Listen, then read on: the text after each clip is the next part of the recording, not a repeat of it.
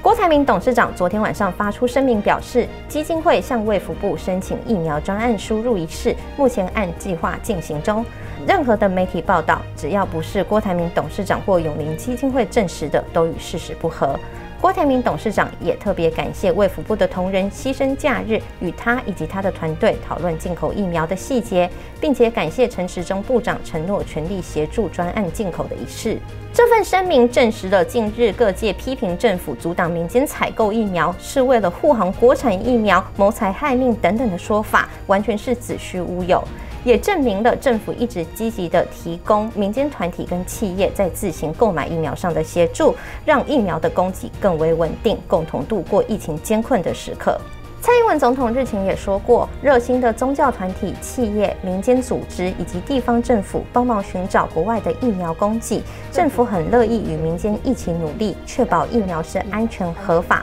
绝对没有阻挡的问题，绝对没有阻挡的问题。在疫情仍然严峻的此刻，任何消费疫苗、打击防疫的口水都无助于防疫的工作。我们在此也要呼吁在野党停止造谣抹黑，并及时的澄清道歉，朝野团结努力防疫。